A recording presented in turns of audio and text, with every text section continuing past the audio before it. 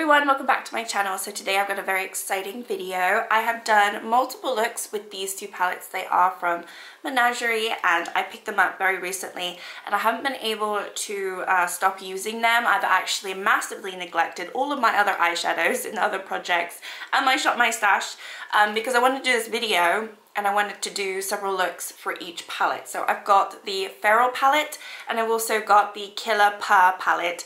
But yeah, this is a video with all of the looks that I've done so far with these two palettes. We'll do a little voiceover for each look and then we'll come back and I'll go through my final thoughts on them.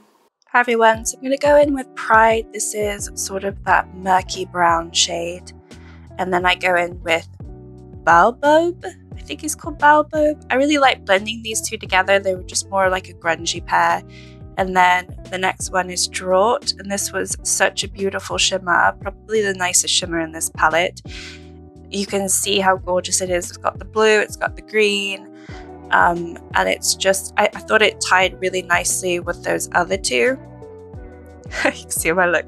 Um, and then I went in with Mane, which I thought would be a nice inner corner. It, I think it's a nice inner corner. Um, and then I wanted to try Prowl, which kind of blended in to Drought. It didn't look too different. I really liked the end result of this look. Um, but yeah. Okay, moving on to Chase. This was a peachy color. I actually didn't expect it to be as vibrant as it was. I was pleasantly surprised. And then we went in with Antelope. I love all these shades. I mean, obviously it's like a safari, right? So got really nice shade names. Um, and yeah, this one was again a lot warmer tone than I expected. And then we went into Mighty Roar. So Mighty Roar I had some issues with. I did start with this brush, which is probably why, but I ended up blending this for a really long time. And then I picked this fluffy brush um, and again, I was really trying to blend it out and it just got so harsh at the corners there. I really hated it. Um, I went back in with Mane, which I used in the previous look, just to see what it looked like on all over the lid. Um, it's quite a sheer formula compared to the other two uh, shimmers that I'd already tried in the previous look. Um, it does have a beautiful shade to it, but it's not super opaque. Um, and I wish it was a little bit more opaque. But yeah, oh gosh, it looks so awful up close. Um, anyway, moving on.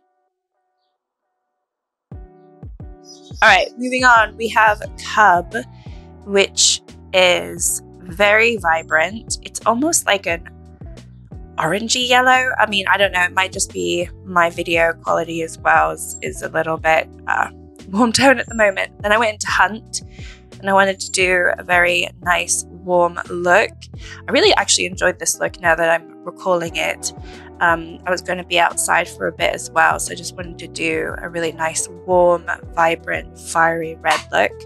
And I hadn't tried Lioness, so this is sort of a gold, bronzy shimmer. This one doesn't have much of a flip. The only flip to it is a little bit of a green, but you can't really see that on my lids.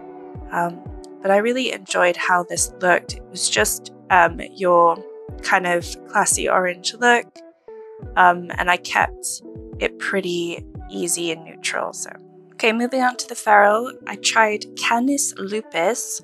You could see all the um, the kick up on that shade flying away. and then I went into Wisteria. This was quite a pretty pink. It was like a peachy pink, um, but I quite enjoyed how this blended. I thought it looked quite nice on the lids.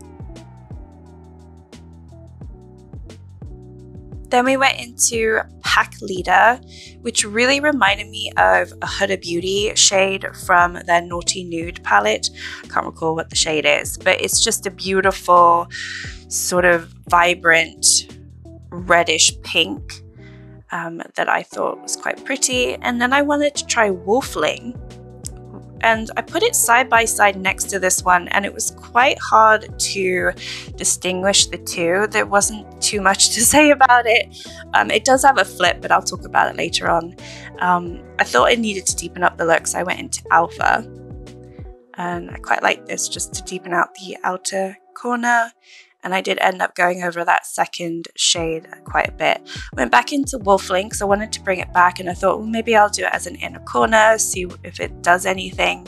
I don't think it works well as an inner corner, I have to say, but I think the end look was quite pretty, very simple, but you know, I like to do simple looks, so it worked out fine for me. Alright, next up we went into Night Eyes, which is this yellow. It's a very um, orangey yellow, I would say. Uh, this look was a nice warm look, kind of similar to the last palette that my, you know, I wanted to do a nice warm look, sunsetty look. And in this palette, they have a yellow and a red, so I kind of wanted to pair them together. This did come across very orangey yellow, which I don't mind. Um, it did have sort of that sun vibrant look that I wanted, if that makes sense. Does it make sense? I'm not sure. Now we've got Mariposa, which is the red, and this ended up being a very beautiful orange when I laid it on top of Night Eyes. Um, I'm wondering what it would look like just on its own, but it ended up looking like a really beautiful sunset, um, you know, orangey yellow look, which I quite enjoy.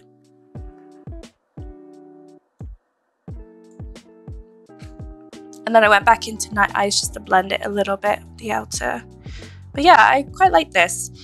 Okay, moving into Wolfling again. This is just one, it's like the other palette, it was just a shade that I wasn't sure about, so I wanted to keep using it. I used it all over the lid just to see um, if I could see that flip because it has a flip of orange, but it's quite subtle. And I think with this look, it worked out perfectly because you've got the pink, but then when it did a flip to that brassy orange, we had the orange undertone of the mattes anyway. And then underneath, I kind of just did the same thing. I went into the red and then I went into the yellow, um, same as I did above, obviously just a different order. And I went into Wolfling again. Um, so yeah, a pretty simple look, but I kind of enjoyed it. It was quite a fiery look and popped on my orange lipstick just to pair it off quite nicely. Um, okay, and then we've got this one. So this is Fenris, and it is a really nice green. I really like this. It's, it's a very um, woodsy green, I would say, um, which I really enjoy. And I kept this this look very simple. I mean, this is the look you see at the, the beginning of the video, so it's a simple look, but I really enjoyed it, and I wanted to see what it would be like to have the other green next to it. The other green is a little bit deeper, so I just put that in my uh, outer V. I don't feel like you need both of these greens, to be fair, but you know, we have them, so I wanted to see what they would look like side by side. I think they ended up looking pretty nice. And then I wanted to try the Harmonia, so I put that on the rest of the lid towards the center and inner part just to tie it in nicely. Um, I kind of lost that first shade a little bit, but I wanted to try everything. And then we go into Herschera, and this is gorgeous. Oh my word, such a beautiful shade. I barely put my finger on it too, and I got so much pigment. It was just so beautiful. I wish every every shade in every palette was like this. It was just stunning. But again, very simple look. I don't do, you know, massively crazy looks, but I really like this look. I think it's nice. All right, there you have it. As you can see, I actually have the Feral on today, and this is the last look that I've done. Um, so, what do you guys think? I personally am so pleased with these palettes. I find them to be so enjoyable, so easy to work on. Let's start with the Killer Purr. Um, I'm not a fan of all the looks I did. I was playing around, seeing what I could do, and in terms of color story, this one is a little bit unique, I, I, would say, because there's a lot of, when you look at this, the colors aren't really placed together in a way that makes sense to build a look. So you have to be a little bit creative. There's also some really gorgeous duochromes in here in terms of the shimmers and then you just, you're not entirely sure what it's going to look like on the lids. Um, I would say all of the shades performed absolutely amazingly well aside from this one which is called Mighty Roar. I did have issues with this one just blending it out um, when I did that sort of pinky tone look. I, that was the only one where I was I was kind of regretting my choice. Um, I know the look turned out decent at the end but that was the, the only look out of the two palettes where I actually really struggled to blend a matte. All of the other mattes are super, super blendable, I would say, very easy to use. There is a lot of kick up, which I wasn't expecting, but I think that's why they're so easy to blend because they're quite powdery. Um, I don't, I wouldn't say they're powdery in a bad way. I just, I wasn't expecting it. So I would definitely say in terms of this palette, I really enjoyed pairing the green with the pink. I do have to say that this pink down here is, is does have a flip to it, but I don't think the flip is super strong compared to these other shades up here. Um, and I, I did I did use this a couple times because I, I just wasn't sure how to use it. It's got like a peachy flip to it with a little bit of orange. I don't know if it's going to come across on camera, but it's just not the um, like a true pink and what I will say about both of these palettes I'll talk about the Feral in a minute but this kind of relates to both of them I kind of wish that they had some sort of lighter inner corner shade. And this is not uh, light enough really to show up as an inner corner. It just doesn't have that beautiful pop. Otherwise, I really enjoyed this palette. All right, moving on to the Feral. I feel like I did really easy looks with this one. I would say in terms of color story, I'm less inspired by this one, just having the two in front of me. For some reason, I was very inspired with this one. This one, even though it looks a little bit more cohesive because you've got all the greens, you've got more warm tones here, and then you've got these pinks, it, I do actually find it a little bit trickier just looking at it in terms of what looks I'm going to do. So absolutely the first one, I had to go into the pinks. Um, I will say these two are obviously very different um, shimmers.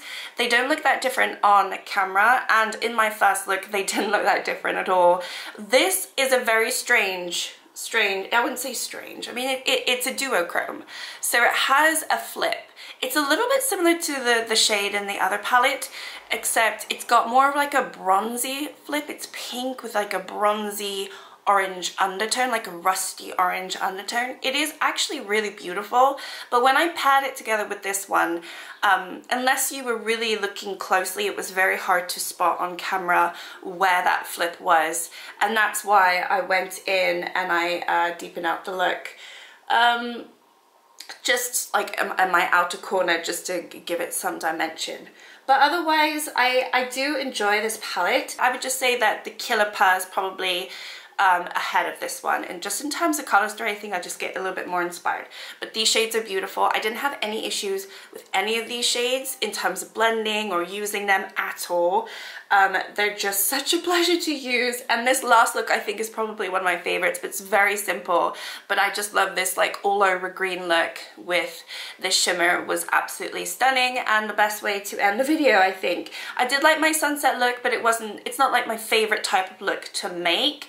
Um, however, I was going to be out in the sun that day, so I thought, well, what better way than to just have some sort of vibrant sunsetty look when I'm out in the sun. So that's kind of what I was thinking. So like I said on the other palette, if this had an inner corner, I would just be so happy with it. I think they could have gone and not had this shade in here or get rid of one of these green shades because they're I mean they're different but they're also very similar when it comes to like putting an eye look together um, probably didn't need this ivy one but I I would have got rid of this one because I have that shade pretty much in here and I would have just put a beautiful inner corner light gorgeous, maybe iridescent type of duo flip shade.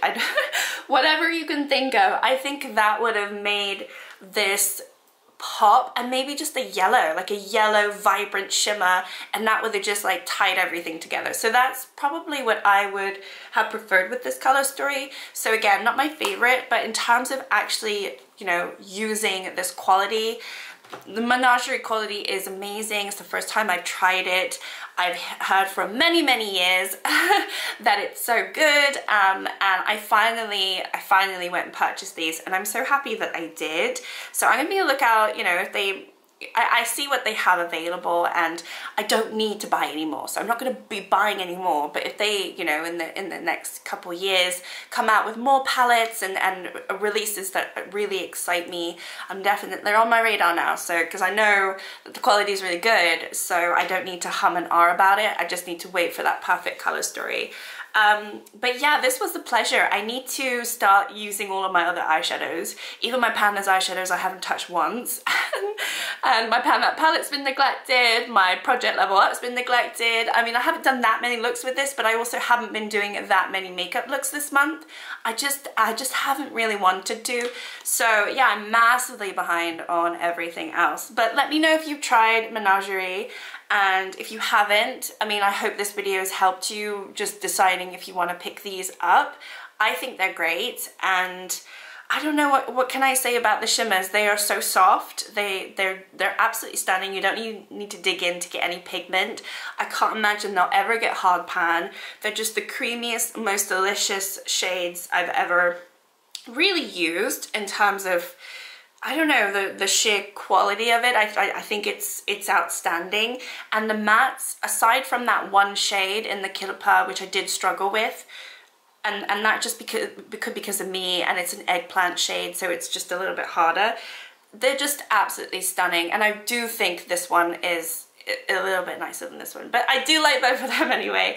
But yeah if you enjoyed the video then give me a like and um, hopefully I will see you all next time. Thank you so much for watching and uh, yeah take care. Bye